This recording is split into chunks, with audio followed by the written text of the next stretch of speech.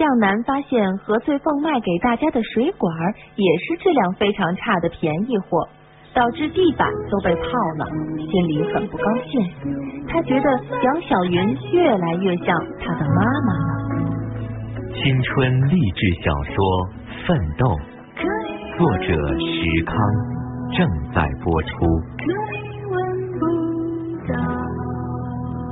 在新废乌托邦，华子和猪头都喝多了，桌子上摆了很多的空酒瓶。华子看着有一帮唱着跳着的小孩说：“哎，这些人我一个都不认识。你真不认识？啊？真不认我可报警了！一帮小屁孩不在家好好学习，在这瞎起什么哄啊？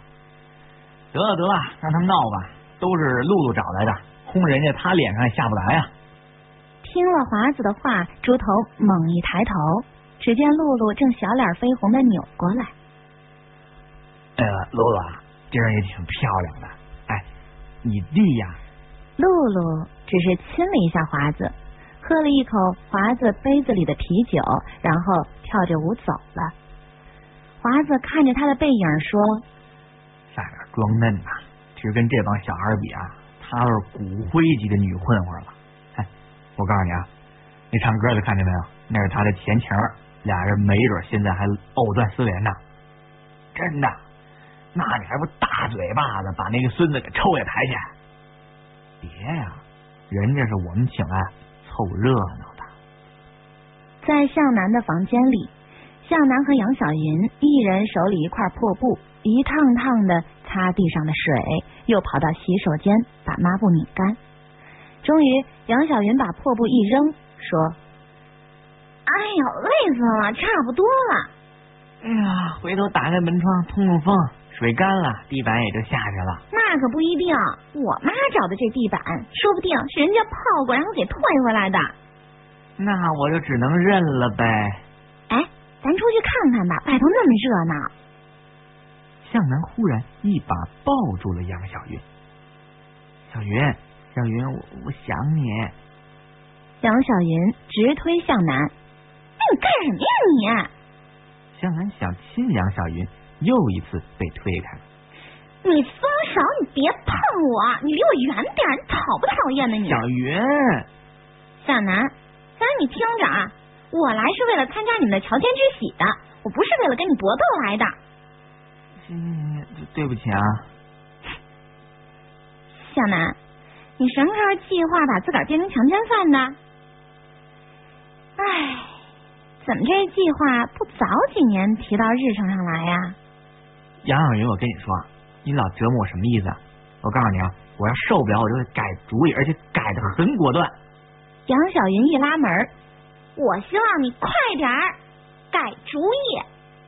向南想说什么，杨小云走过来一拉他。赶紧啊，出去了，给你关这儿，人外头不知道怎么说咱俩呢。在外面，又一波小朋克冲了进来，乐队把声音调高，猪头受不了走了，陆涛一干人等只好全部撤到了小花园。花子很兴奋，人越来越多了啊，把咱们的饮料、酒、自助全给吃光喝光了。哎，你来。怎么回事啊？现在你们这闹的怎么变成公共场所了？哎，是啊，这些人都哪来的呀？太烦了！这个时候，就连露露都跑出来了。里面实在是太乱了，吵得我耳朵都疼。哎呀，反正我看这客厅啊，是不是他们给占领了？都怪大海，他怎么弄这么多小孩来，还当着我的面跟一小姑娘调情，他也不看看自己合不合适。孙大海还不是你给找来的啊？你呢？你找来一俗人管我叫服务员，讨厌！哎，这俗人刚才可还夸你漂亮呢。我招他惹他了，他凭什么夸我呀？陆涛一看气氛不对，赶紧打岔。哎，小楠，你们俩刚才去哪儿了？啊，跟他屋里商量事儿呢。那你们破镜重圆的事儿，你们商量的怎么着了？我们。我们一直在破罐破摔。杨小云一指向南，你你就是一衰人。大家笑了。陆涛提议，要不然咱们出去吃饭吧，我有点饿了。好好好好好好，我我积极响应，我也饿了。哎，你们准备的那自助餐我都没吃着。哎呀，我觉得咱这新屋落成典礼啊，忒失败了。哪有客人醉醺醺的在外头使劲享受，房主关在小黑屋愁眉苦脸的。走走走，咱呀出去吃饭。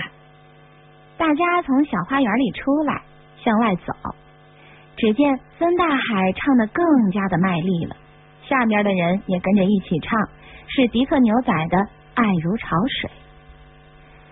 向南边走边听，忽然被打动了。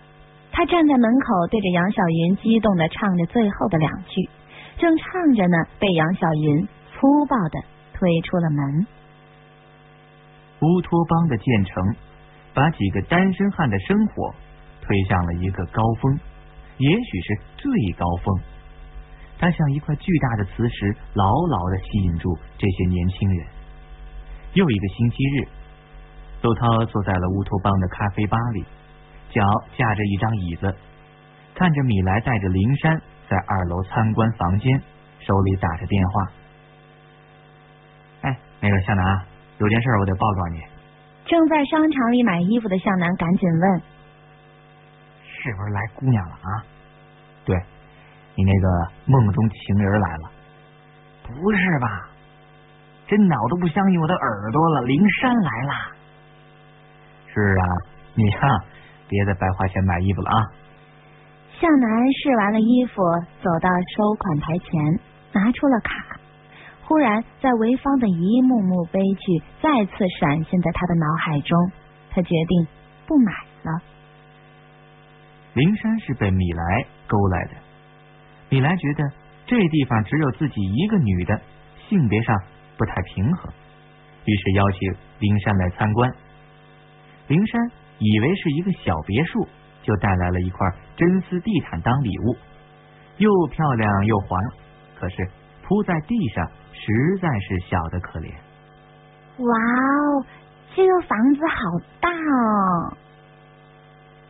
米莱往楼上一指，我们还有空房呢。没错，还有两间呢。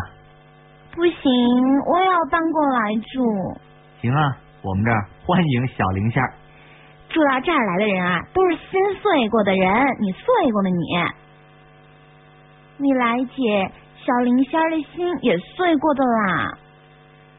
灵山说着，对陆涛眨了眨眼睛，把米莱和陆涛都逗笑了。尽管向南故意不去想灵山，但是他的脑子自己就想起来了。他不知道为什么很兴奋。从商场飞车冲回了乌托邦，一进门就大声的嚷嚷着：“朋友们，我回来了！”陆涛等三个人这个时候正走在楼梯上，陆涛一指向南：“小灵仙，往那儿看！”灵山一抬头，大声的叫：“哇，向南哥！”只听“啪”的一声，向南踩中地上那块刚刚铺上的真丝小地毯，横着。就飞了出去。上午，精品店里顾客很少，杨小云一个人坐着，无聊的发呆。何翠凤风风火火走进来，走到了杨小云的面前。哎，小圆儿，你张婶家那老儿回话了，人挺痛快的，说找媳妇儿就要找你这样的。妈，我不是说了吗？那人啊，我不待见，长得五大三粗的。穿件西装还是三年前西单的甩货，都什么呀都！哎呀，人家还想跟你发展发展呢，够发展！人家可在七家商场有柜台，今年那车都换成宝马了。您就这么跟那张婶说吧，他人要换成一大明星，我就答应。哎呀，小圆儿，那你说句清楚话。你到底要找个什么样的呀？比向南强就行。妈给你介绍这几个，哪个不比那向南强啊？再强点儿，越强越好，我非得给气死他！就在这个上午，灵山的房间装修完了，他带来一个箱子，把东西一件一件的摆上。还往墙上贴了很多自己的旧照片，晚上，向南下班回来，听说灵山已经搬过来了，他完全抑制不住内心的激动，脱了西装，换上件休闲装，就去敲门。灵山开了门，直叫他向哥哥，这话叫的向南心里甜极了。向南搓着手，东看西看，哎呦，呵呵，全齐了啊！富家女的品味还真是不一样。小房间里到处是淡绿色和淡黄色，还有股香味儿，搞得跟日本女孩的小闺房似的。林山还真玩出一个日本范儿，说着：“是啊，从今天开始我就住在这里了，请多关照。”向南趴在墙上看照片，灵山则是大大方方一一的介绍。嗯，你看这一张，这是我小的时候，这是我爸爸还有我妈妈。你看我妈妈漂亮不？漂亮。人家都说我妈妈长得比我还漂亮了。哦，我觉得不是一类型。哎，你看，这是我在毕业舞会的时候穿的裙子，我从美国回来的时候都不舍得丢掉的，带到香港，又从香港带到上海，最后带到这儿。你看，在这里漂亮吧？好不好看？林山从衣柜拿出一件礼服裙，在身上比了比，这可把向南给馋坏了。好看，真好看。看完灵山各个时期的照片，向南心里简直就被他给迷住了。他坐到了灵珊的床上。哎呀，灵珊，你怎么不留在美国呀？不喜欢啦。最早我去学校的时候，我骑的是一辆单车，结果没有人愿意跟我做朋友。后来我开了一辆保时捷去上学，同学们立刻就主动跟我交朋友，好多学校的社团也请我参加。周末的时候，学校里的帅哥都来约会我，真无聊。哦，向南一下觉得和灵山之间的距离变大了，他站起来走到墙边。抄起了一根高尔夫球具，在手里画了画。我刚刚学会的，向南哥，你打的好不好？我啊，我不会。哎，我看这玩意儿当拐棍结不结实？向南哥，你可真会讲话。小意思。这个时候，门外传来华子的叫声：“向南，向南，别跟着灵山耍流氓了啊！走走，吃饭得快点。”陆涛坐在灵山和米莱中间，灵山的边上是向南，米莱的边上是华子。大家边吃边说着话，华子正在打电话。哎，来吧，吃点东西再睡，我们都等你呢。这得了吧，你一点都不胖，瘦的跟随时要抽筋儿似的。赶快来，再吃点啊！赶紧赶紧的，我们等你啊。华子放下电话，看到大家都在看着他，华子说：“那什么，露露。”一会儿就过来啊，华子，我觉得你和露露的事儿，趁今儿晚上定了就得了。不是我和露露有什么事儿啊？哎，你不真诚啊，太不真诚了。怎么了？我我怎么了？你和露露耗这么长时间，你都快把人家耗成妇女了。依我看，你们俩挺合适的，等什么呢？其实这事儿啊，也不全是我主动。露露吧，这主意挺多的，主意那也是小主意。华子，我觉得如果你要是坚决点，我怎我怎么坚决呀？你求婚呗。对，女人啊最喜欢的就是正式求婚。我到现在我都没碰到过这种情况。米莱说完，白了陆涛一眼。米莱啊，我觉得你怨妇的挺厉害呀。看来是被有些人逗得够呛。米莱立刻装出一副幽怨的样子。是啊，少女变大嫂，早恋变单身，文秘变老总，一失足成千古恨。那你恨谁呀？米莱又白了陆涛一眼。还我青春！华子对向南说。没法啊，欠债还钱。至于你陆涛，欠青春还青春。哎哎哎，哥们儿也有过那青春呢，谁还哥们的呀？还什么都行，就是不能还你青春，还了你，你就拿来欺负人。华子凑上去，哎，说说说说啊，我就特爱听这其中的缘由。他他他一副老实单纯的样子，骗得人家一愣一愣的，整个就是混蛋一个。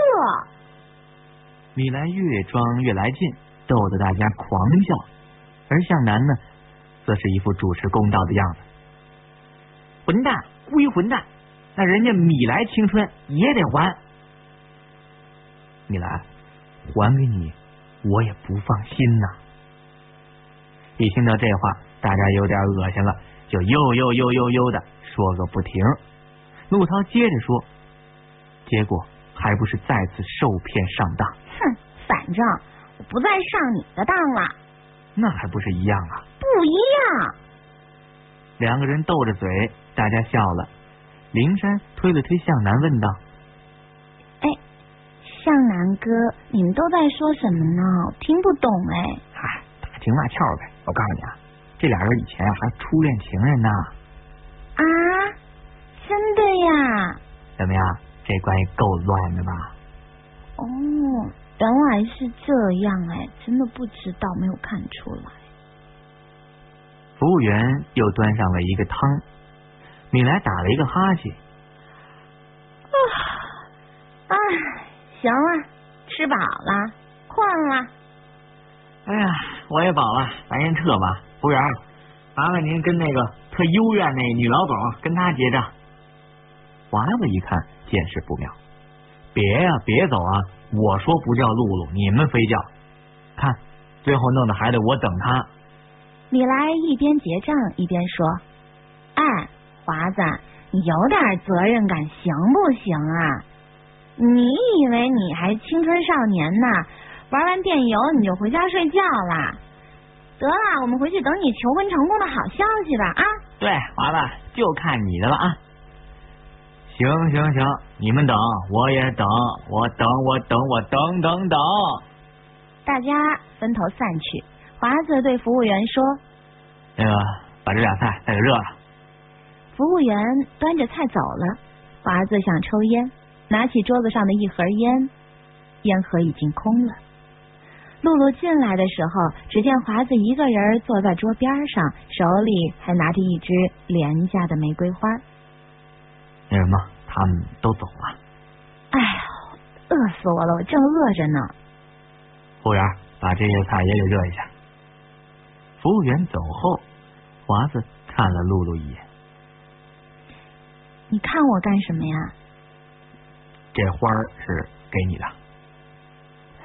为什么？你先接着呗。嗯，一点香味都没有。这不是马路边上买的吗？三块钱一根。怎么着？有什么好事儿吗？没没有，还那样呗。你和猪头找到项目了吗？我不是正找着呢吗？哦。华子看着露露专心的吃饭，露露也不主动说话。过了一会儿，华子咳了一声，也猜猜我为什么送你花啊？不知道，猜不出来。嗯，华子有点紧张，东瞧西看。你说呀，为什么要送我花？这话应该是怎么说来着？这个露露啊，这么着吧，你要是没什么别的打算，你就跟我算了。你这话什么意思啊？怎么听不懂？华子在身上摸来摸去，好容易把烟给找到了，点着了。我的意思是，要不咱俩结婚得了？为什么呀？反正人人都得结婚，咱们俩这么多年知根知底的，这不挺好的吗？你不是一直不想结婚吗？嗨，这不是我这帮朋友劝我吗？露露正要说点什么，服务员把热好的菜给端上来，露露忍住了。服务员走后，华子问露露：“你你觉得怎么样啊？”露露想了想，刚要说话，服务员又端来了一盘菜，露露收住了。你什么意思啊？你有什么意见？行。回到了乌托邦，大家各回各屋。陆涛看了会儿书，正要睡觉，敲门声响了。总是忍不住寂寞，掉下眼泪。向南给灵珊发了一条短信，说喜欢他，而华子呢，在众人的撺掇下，准备正式向杜鲁求婚。青春励志小说《奋斗》，作者石康，演播小曾、卢迪。